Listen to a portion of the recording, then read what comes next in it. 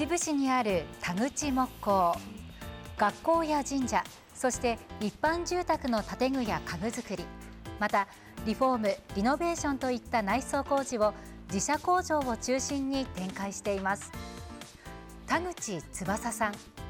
都内のギターメーカーで営業をした後10年前に埼玉に戻り実家の仕事をするようになりました。実家の方がこの自営業の会社をやっていたのでいつか継ごうかなと思っててやはりその時業界のことだったりとか震災だったりのタイミングでちょっと今戻るべきかなと思って戻ってきました。まあ新しいことをやってみたいなと思って、まあ、今までの古き良きところも残しつつ、まあ、自分たちの時代に変えて新しくしていきたいなという意気込みでやっています地元で人脈を作りながらクライアントと人間的な触れ合いを積み重ねて最適な空間デザインを見つけていくというやり方で翼さんは会社の仕事の半分近くを受注するようになりました。お客様とかというよりかはみんな同じチームっていう感覚で自分はやらせていただいてます。そんな田口さんが手がけた仕事の一つが去年オープンした僕らの皆のベース小川が流れサウナもある自然いっぱいのキャンプ場。その管理棟を兼ねたカフェ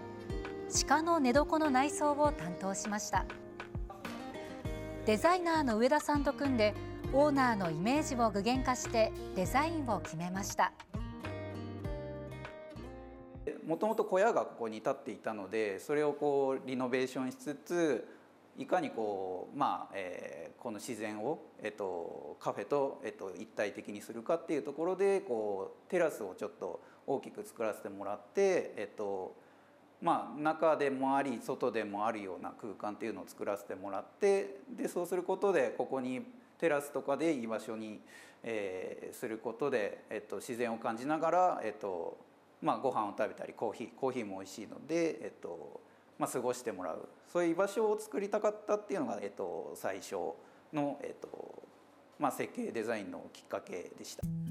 3月まで皆野町の地域おこし協力隊だったオーナーの松藤さんは田口さんの人脈の広さに期待して工事を依頼しました。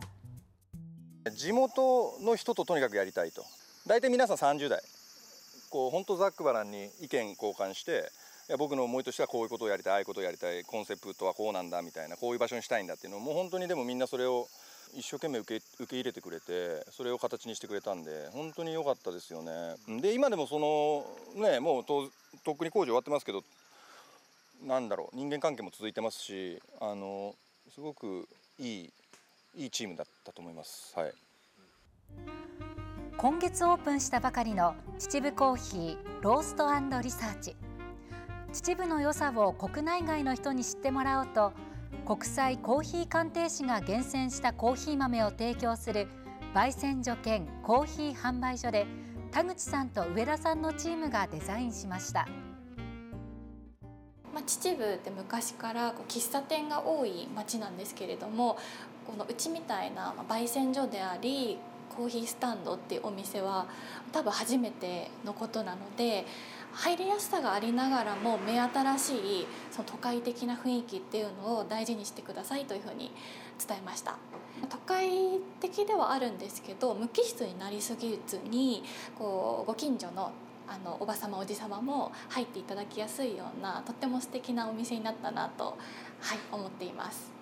で今5つのブレンドがうちのメインの商品になってるんですけれどもそれぞれの秩父郡市内のの町の名前を冠したブレンドになってるんですがこれから秩父の名産品とコラボしながらあのたくさん楽しい商品出していきたいなと思っています。ミナノベースさんでは一緒にサウナに入ったりとか秩父コーヒーさんでは一緒にシーシャを吸ったりとかそこからいろいろその方たちの希望だったりとか夢を聞いていくうちに、まあ、みんなで作り上げようっていう形で入れていただいたりとかしています。また木材を使ったオリジナルの商品も作っています。テーブルや椅子などの家具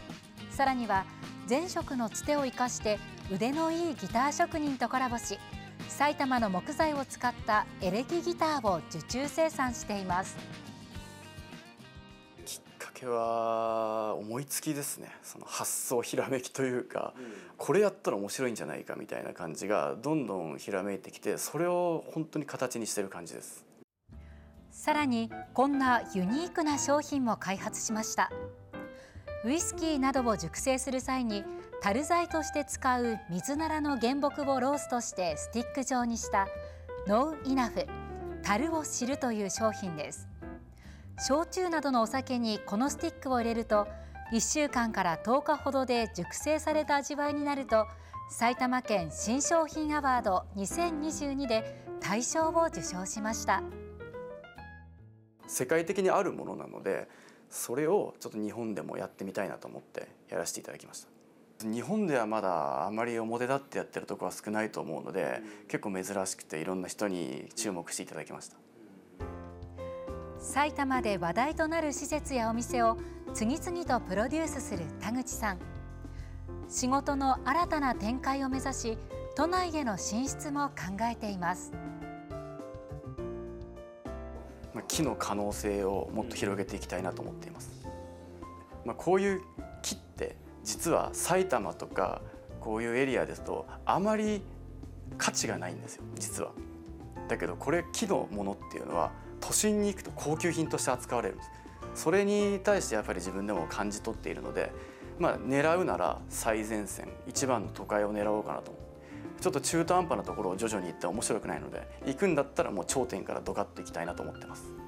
ざっくり言っちゃうと2年後に六本木ヒルズに事務所を構えるのが目標です。それぐらいでかいことをやっていきたいなと思ってます。はい。高澤さんご覧になっていかがでしょうか？はい。あのー本当にねあの素晴らしいというか若手が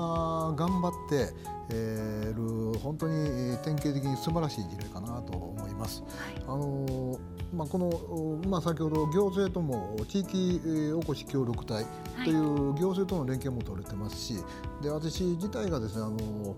平成20年ぐらいからですねえー、秩父市一市四町、はい、えー、これはあの大体秩父市と、まあ、皆野横瀬小鹿野長瀞ってこういう地域はあの連携を取ってですねあの頑張ってるんですけども、えー、こういうところにですねあの毎月2回ぐらいあの訪問させてもらうとですね、はい、あのすごくねこの地域は歴史もあるしあの懐が深いなっていうのを感じてますしで行政とね本当に連携を取りながら企業が頑張ってますので、はい、えー、ぜひこういうのを続けてもらいたいし、えーまあ、東京に事務所を作ってもらってプラス雇用もね地元の増やしてもらうような展開やってもらうといいかなと思いますね。はい、秩父を中心に都内にそして日本中にこの県産の木材の魅力も発信していただければと思います。ここまで特集でした。